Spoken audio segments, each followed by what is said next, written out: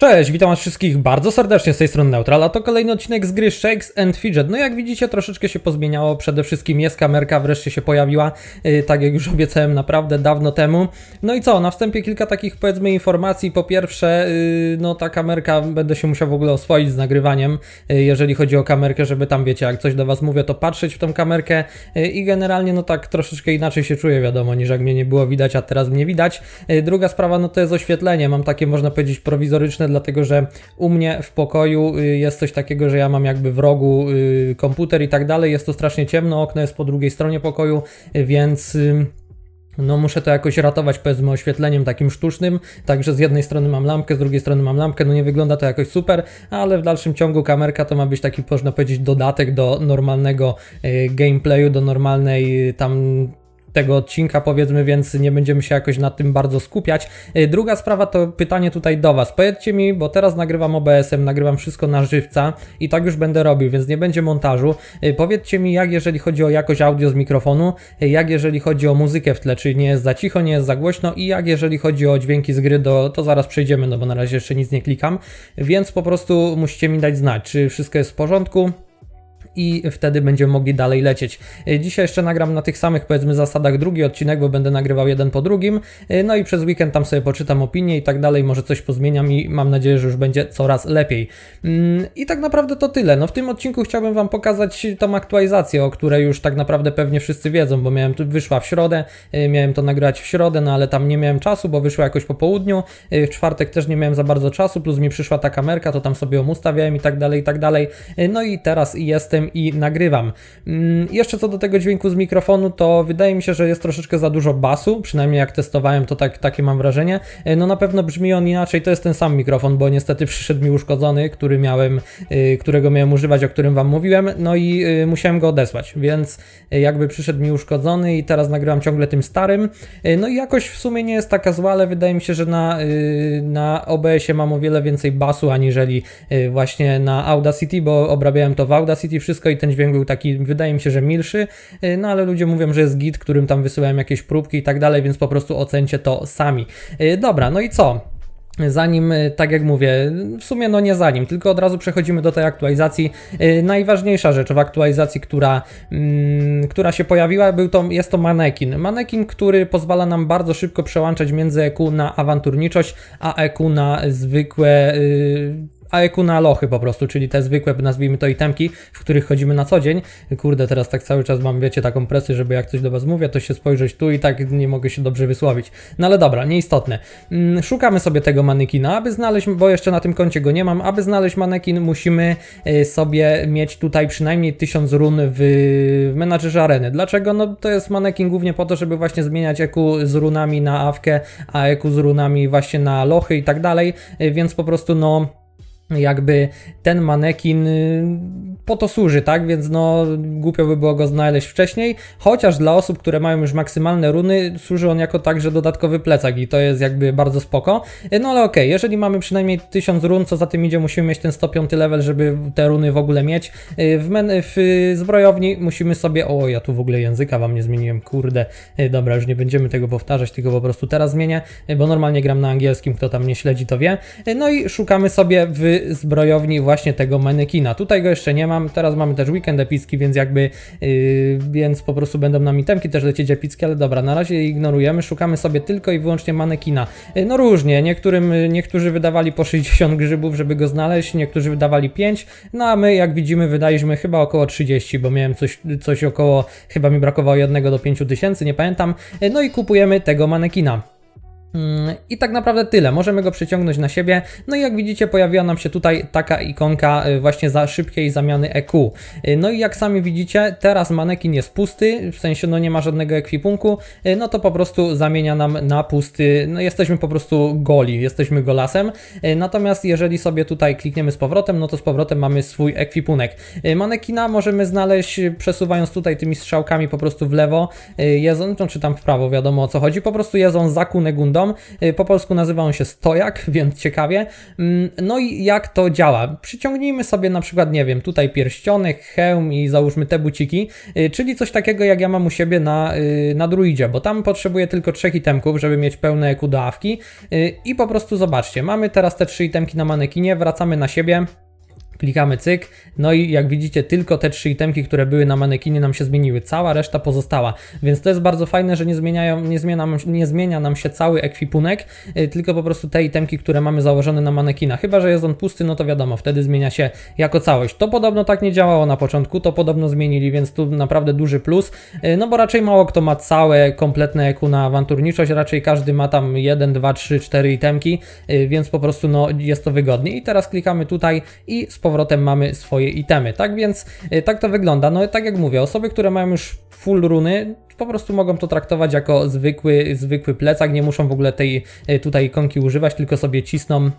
w ten sposób, że y, zakładają na, te, na, tego manekina, żeby on po prostu był.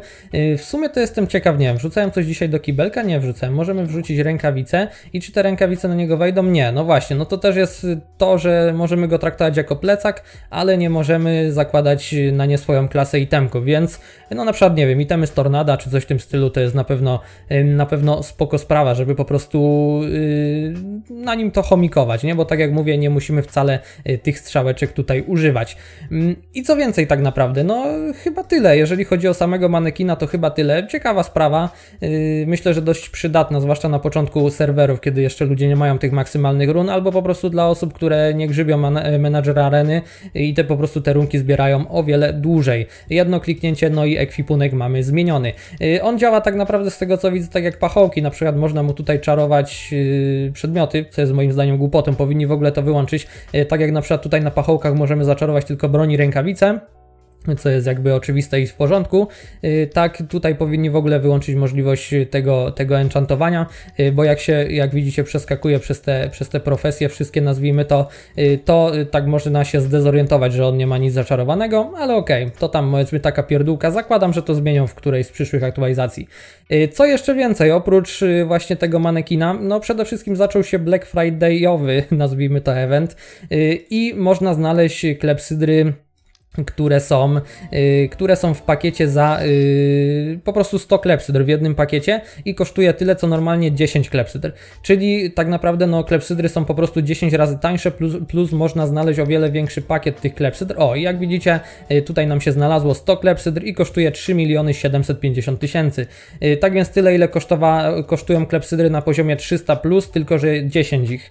Yy, no a 10 klepsydr jak widzicie jest 10 razy tańsze i kosztuje po prostu tylko 375 tysięcy Y, nie można w ten event znaleźć w ogóle pojedynczej klepsydry, więc 10 to jest takie minimum, y, tak więc wydaje mi się, że no każdy, kto potrzebuje, no to to jest idealny moment, kto nie ma w ogóle tych klepsydr, aby mu się przydały, no to wydaje mi się, że jest to idealny moment, żeby po prostu sobie te klepsydry znaleźć i żeby zrobić sobie zapas, wiadomo, coś takiego jakby robili wydaje mi się ra, no raz do roku, może nie, dwa razy do roku, y, to wydaje mi się, że to było spoko, no bo jednak 10 tysięcy klepsydr, nawet jak ktoś klika, y, bo ja tak sobie planuję tutaj na wojowniku 10 tysięcy y, znaleźć, jeżeli ktoś klika mm, po prostu tylko za klepsydry, to wydaje mi się, że 10 tysięcy przez pół roku raczej nie zużyje, a już będzie mógł sobie od nowa doładować, nie, więc, więc jakby mogliby coś takiego dwa razy do roku robić.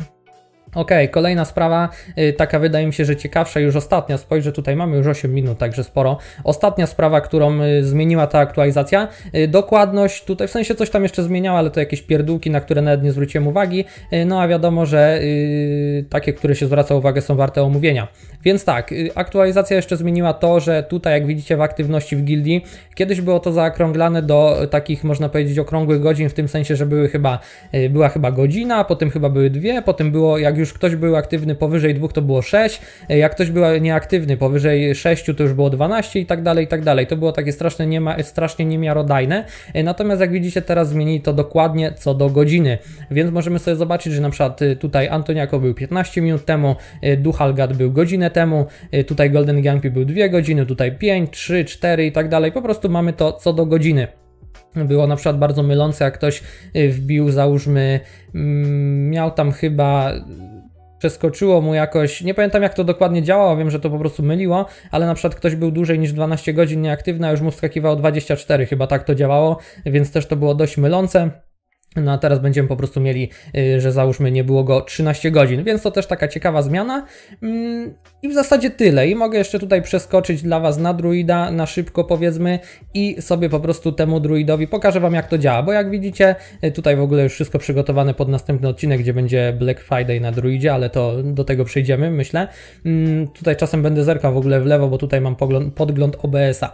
Mm, dobra, więc tak, jeżeli chodzi o, o tego druida, to po prostu jak widzicie mam tutaj stojak, jak tutaj mam premię do złota 13, tutaj mam 3% PD i też 13% premię do złota. Już tam mogę jakieś lepsze runy znaleźć, ale to mm, po prostu nie ma sensu, nie chodzi o to w tym. Y, I jak widzicie tutaj jedną zmianą sobie klikam, to samo co już w sumie pokazałem, no ale teraz to pokazuję na przykładzie, że faktycznie jest to przydatne.